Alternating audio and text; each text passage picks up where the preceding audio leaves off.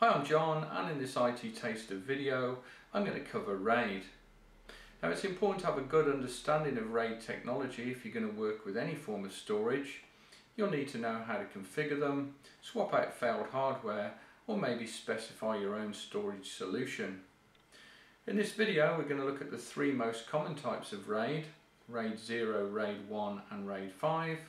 We'll discuss some of the differences. We'll look at technologies such as striping, parity and fault tolerance and we'll also cover a few other topics along the way. RAID stands for Redundant Array of Independent Disks. You may also hear the definition Redundant Array of Inexpensive Disks, but this is older terminology. RAID is a really useful technology. It allows us to take multiple physical hard disk drives and combine them to form a single logical disk volume. Combining physical disk drives like this is known as an array or a disk array and we can use RAID to create large disk volumes. RAID can also provide fault tolerance in the form of data redundancy which acts as a safety net in the event of a single hard disk failure. There are also performance improvements with RAID because data can be written to multiple hard disk drives simultaneously. One of the first technologies we need to understand is data striping. Data striping takes a file and splits it into segments. Each segment is then written to a different physical disk simultaneously.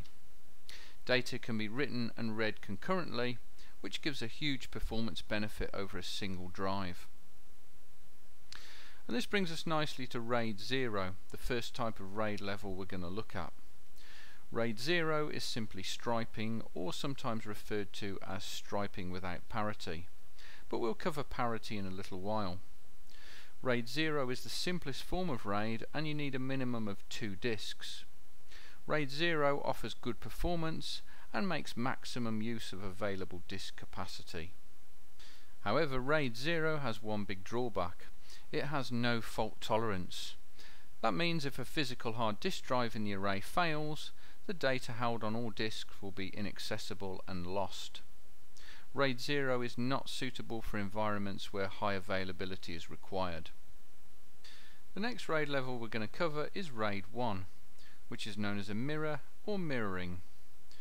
RAID 1 has a minimum and maximum of two disks. With RAID 1 all of the data is written to both hard disks at the same time, which means each disk holds a complete copy of all of the data. Performance is not as good as RAID 0 because a full copy of all of the data is written to both disks simultaneously. And also only 50% of the total disk array capacity can be used. Which means if you have two 500 gig hard disks, you'll still only have 500 gig of storage capacity. However, because a full copy of all of the data is written to both disks, should a hard disk drive fail, we don't lose all of our data. The big advantage RAID 1 has to offer is that it's fault tolerant. We can continue to access our data in the event of a hard disk drive failure. One of the most popular RAID levels is RAID 5. RAID 5 is known as striping with parity, and we'll talk about parity in a moment. RAID 5 requires a minimum of three physical hard disk drives. Now RAID 5 stripes data in a similar way to RAID 0. However, it also writes parity data to the drives. And that brings us to the question, what is parity data? In the context of RAID 5, parity is additional data which is written across the drives to enable the data to be reconstructed in the event of a hard disk drive failure. This means if a hard disk fails, the array remains intact and we're still able to access our data. However, it's important to note the array is in what's known as a degraded state because we have a failed drive and data is being reconstructed using parity data. This means there will be reduced performance and the array is no longer fault tolerant. To repair the array we need to replace the failed drive. Now once the new drive is installed, the array is then rebuilt using the parity data. This normally takes a while and performance will be reduced, but once complete, fault tolerance is fully restored. But remember, with RAID 5 we can only afford to lose one hard disk drive in the array. If we lose more, we lose our data. And it's important to point out, RAID fault tolerance should never be considered as a substitute for a backup solution. It's there to provide resilience. RAID 5 is one of the most commonly used RAID levels, performance is good, and it uses parity data to give us fault tolerance.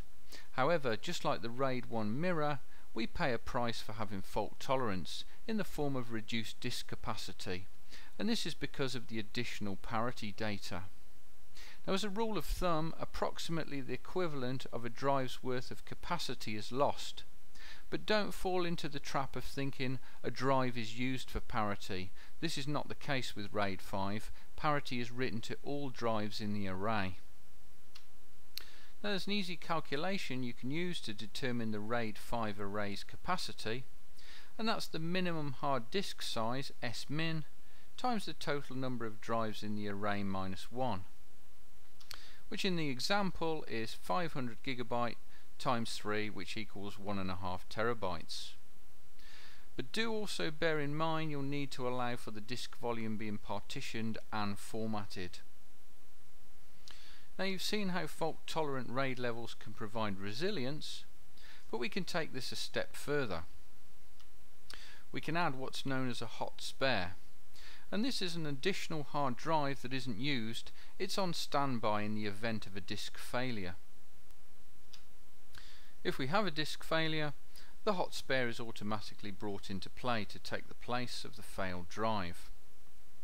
The parity data is used to rebuild the drive and make the array fault tolerant again. And then all we need to do is replace the failed hard drive. There's a couple of important things to bear in mind when swapping out a failed drive that belongs to an array. You need to make sure you positively identify the drive by using the RAID controller software and also the LED on the front of the drive should indicate the fault.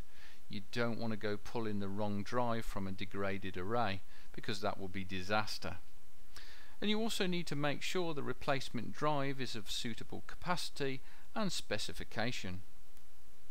Now the replacement drive can't be smaller than the other drives in the array. However, you can use a larger capacity hard disk drive if you need to, but its full capacity won't be utilized. In our example, if we add a 750 gig hard drive to our array of 500 gig hard drives, only 500 gig of the 750 gig drive will be utilized. But where you can, stick to using identical specification drives. Now once the drive is replaced, it's incorporated back into the array, and we have a spare drive again. I'll just mention the difference between hardware and software RAID. Software RAID is inexpensive and you'll find it's included with most server operating systems, so all you'll need is a few disks to get you up and running. But it is exactly that, it's software, so performance won't be that great, and it's also something that isn't considered overly reliable. It's ideal though for learning and testing and environments where resilience isn't too critical. Now hardware RAID on the other hand comes in the form of a dedicated hardware RAID controller and this is at the heart of your servers, your NAS boxes and storage area networks. And it takes care of building the array, running the array and most of the things that we've talked about in this video. Now really for a live production environment, hardware RAID is what you need.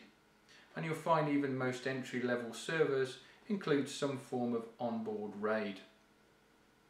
Well I hope this video has been helpful Please give your support and subscribe to the IT Taster channel. Comments are welcome and thanks very much for watching.